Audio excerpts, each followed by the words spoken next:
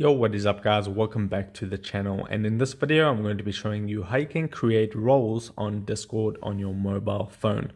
Okay, so I'm going to open up Discord and currently I'm in the server, one of my servers.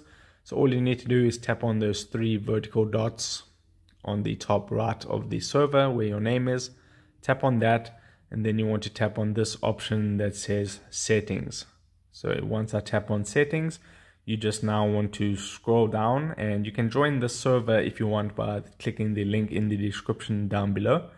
So what you need to do is scroll down a bit and then right at the bottom there it says roles. If you tap on roles, you'll current you'll see all the current roles that you have. So I have owner, admin, moderator, bot, member, and so on.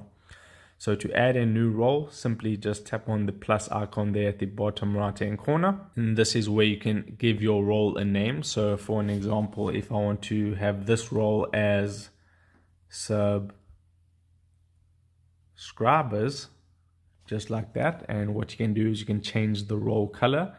So if I make it like this reddish color or that one right there, tap on select, that will be the role color and then you have the role settings. Display role members separately from online members.